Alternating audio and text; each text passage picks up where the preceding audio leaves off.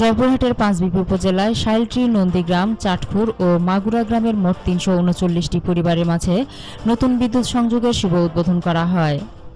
বুধবার সকাল থেকে দিনব্যাপী পাঁচবিবি পল্লী বিদ্যুৎ অফিসের ডিজিএম আলমগীর হোসেনের সভাপতিত্বে উপজেলার শাইলটি গ্রামের হিন্দুপাড়ায় প্রথমে বিদ্যুৎ উদ্বোধন করেন জয়পুরহাট এক আসনের সাংসদ ও জেলা আওয়ামী লীগের সভাপতি আলহাজ অ্যাডভোকেট শামসুল আলম দুদু।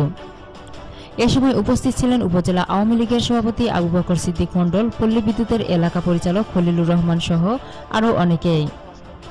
এ সময় ডিজিএম বলেন, সরকারের অর্থায়নে প্রায় চুয়াত্তর লক্ষ টাকা ব্যয়ে উপজেলার চারটি গ্রামে আজ থেকে নতুন বিদ্যুতের সংযোগ দেওয়া হলো। জয়পুরহাট থেকে আলকারিয়া চৌধুরীর পাঠানো তথ্যচিত্রে একাত্তর বাংলা নিউজ ডেস্ক।